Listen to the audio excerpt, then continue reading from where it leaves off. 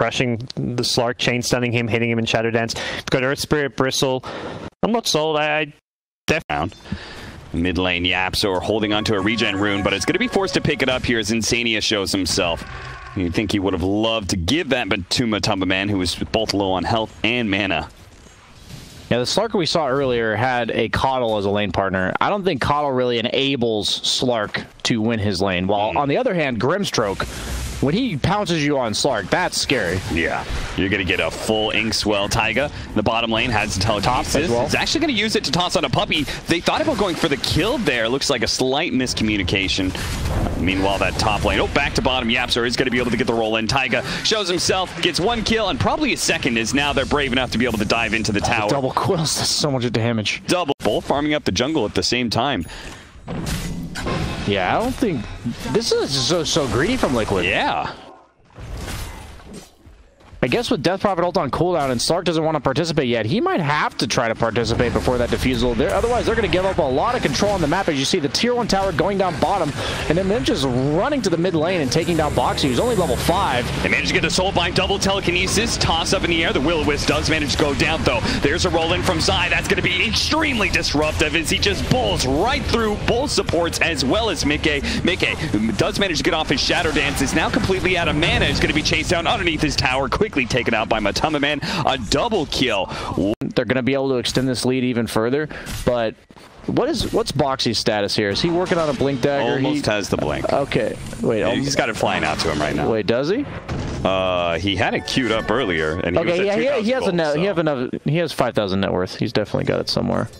Top lane. Oh, this is uh, maybe a big pickup. Never mind. Matumba does manage to get off the Strength Morph. He's out of mana, and actually the Soulbind latches onto YapzOr. Can they take advantage of that, though? They're going to turn on the YapzOr, an easier kill by far, but the Will-O-Wisp, and now the rest of the Secret is here, especially with Zai. Rolling into the back line just like he did before. He's going to find Taiga. He's going to make sure to take him out with the Swashbuckle, while the rest of the team, while the Exorcism going out, they've already managed to take out the KotL as well as the Pango, and there now the go. second life onto the Morphling. If they can manage to get some sort of silence, a stun, anything to stop this TP away, but he's out under attack.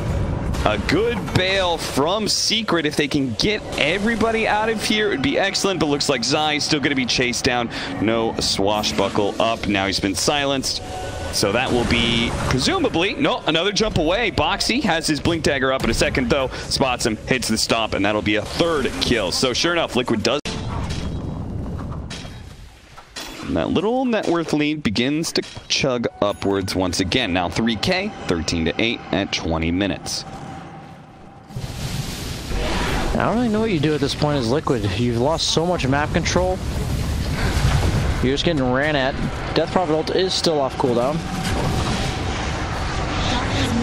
Okay, Eul Scepter into the Inkswell. They're really got a gun for Nisha here. Good He does have 20 stick charges. You got to pop him now. So and the Essence Ring. qojqva, he's getting a little bit low, but Matumba Man has already thrown out his shotgun, and no that mana. was not enough to kill him. The roll forward, Zai is actually going to be able to intercept. Matumba Man gets back safely while Taiga died to some of the supports of Secret. Zai gets in and gets out just as easily.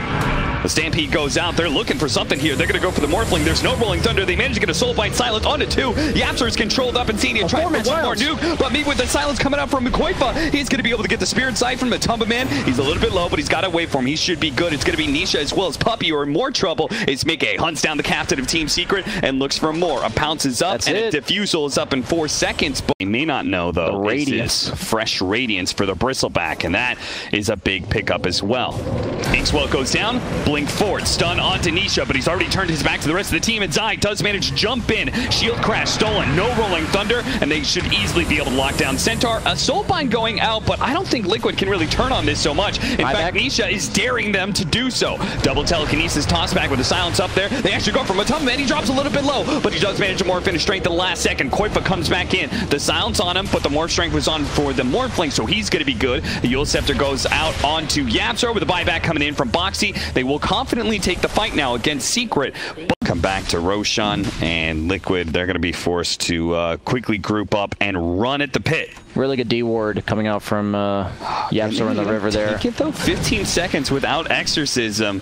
And this Roshan is dying so fast with all that minus armor. It looks like they're just going to be mid defensively Rolling Thunder like and it. Will-O-Wisp just to make sure there is no opportunities for initiation. They will manage to get the kill onto Puppey here, but that was a buyback earlier from Boxi. He's in trouble. Matumba Man's going to be chased down. There goes the Soulbind on Design Matu, but he does manage to more strength once again. He's a tanky guy, and qojqva, he's in a bit of trouble. Triple Spirit Siphon into the Eul Scepter, heals him up, back up to full with an Inkswell on him. Almost gets the stun on Denisha. Instead, it's Puppey who ends up dying. That's a dieback for him, but rolling from Matumba Man, operating onto qojqva. They should be able to get the Rolling Thunder. That's it. He's dead, and no exorcism in this fight means that Liquid no longer have a whole lot of damage. It's all up to Mickey now. Albert. Dow put it by himself. He goes for side, then immediately gets Halberted up. Silence as well. Now he's gone. The carry and the mid just seems like they're one or two steps behind at every stage in this game. I feel like I'm being biased towards Secret, but I, if I'm putting myself in Liquid's perspective this game, like I want something and they're just not giving it to me. I want to Yeah. fight you. I want you to run into our DP ult.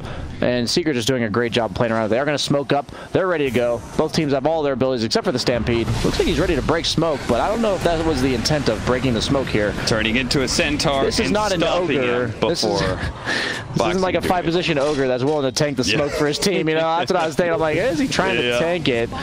Using the swatch to cancel the blink immediately was a good, nice play by Zai. Okay, Matumba Man almost loses his Aegis here. In fact, he's going to turn and fight as he's willing to make that trade-off if they can actually kill Mickey, and they will manage to do so. He's dead. GG. No buyback there, and that's just going to be it. Liquid call it GG. They seem to be utterly neutered, completely powerless against Secret as the game goes on and on. Uh, what is the equalizer.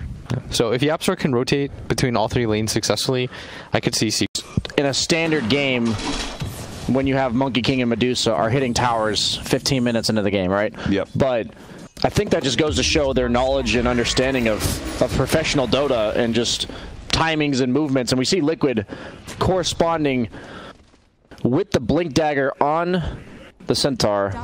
Middle of the catch. There's a KotL. Not bad. He does have Will-O-Wisp, so that's a team fight ultimate down. While Secret looks like they still want to fight. Buyback from the KotL. They got the Phantom Trace onto the Pango, but with the buyback coming out from the KotL, they need to get out. qojqva is going to be Stampede saved here.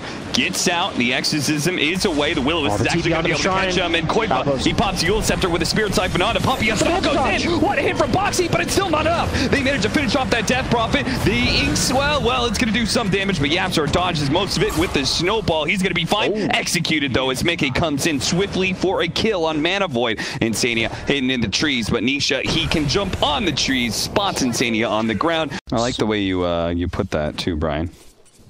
Was it elegant? It, it was simple enough for me to understand. Yeah, I She try. wants It's to pretty go, tough to she go. no go. Yeah, it- How it's play? tough to speak down to your level, but I, I sometimes manage to pull it off. Secret is smoked up DD on Monkey King. Look at BKB. YapzOr go with the spider legs. He just crawls up the cliff and finds them. They go up the Nice silence with the BKB, bound the strike into the Wukong's command. Liquid's in trouble. qojqva's got to get out of here with his BKB. He actually executes his Spirit Siphon, so he doesn't have any of those left. Just a couple more, but he keeps on having to run away. And now his BKB fades out. Zai, he's going to try and hit him as soon as qojqva comes back down to earth will help of Matumba Man and YapzOr. They will bring down that big carry. Nisha, though, still battling out with Boxi and Mickey. Mickey's forced out, but Boxi doesn't have the same kind of escape.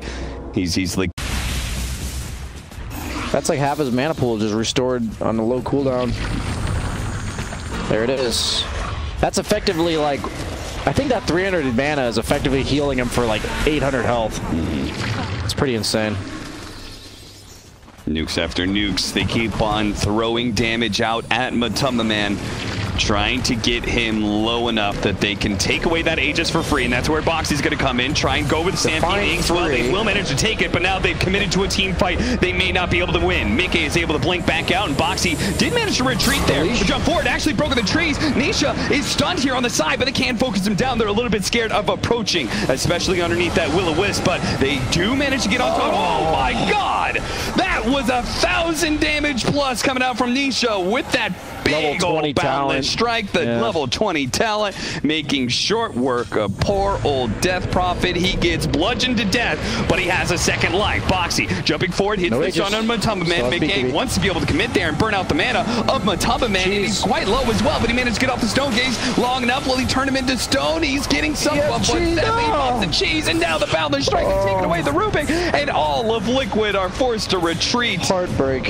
on the way out. May be caught here. He may be sacrificed for the better good, for the triumph of Team Secret, but he is still so tanky. Finally, he dies, and they do manage to get a mega kill streak. That goes. A Secret is going to be distracted by that too much. It's time to force the buyback out of this Anti-Mage. Matumba. Zai just killing Boxi potentially. Yeah, Bash? looks like he Oh, he read it. ults, yeah. Rolling Thunder. Very nice to cancel the TP. Oh, he doesn't have a bash. Oh well. Eh, Crimson Guard will keep Boxi alive for a time being, but either way, it's, he's neutralizing Boxi, this right? is an inevitable death as he loses his Rax top to a Medusa. Honestly, not letting him blink and not killing him is probably the best play by Zai. Are they they gonna buyback on? Okay, there it goes. Dropping Mickey item on Boxi. Boxi's dropping items. Okay. He's dead. You gotta have a little bit of fun. Plus, he's got boots of travel on Zai, so now he can join the rest of his team in taking on a four versus five. Last life for everybody here on Liquid. Last hold in this series. I just love the itemization from Secret against the Anti-Mage as we see the last fight. Mickey just getting torn apart by all that damage. He Get turns and blinks on his eye, but it's still not enough. But Tubba Man with the, be- uh, the godlike double kill. Nobody is going to give them beyond godlike, though. qojqva plays back into the fountain, and that's it. Just uh, a little bit better for Liquid, but still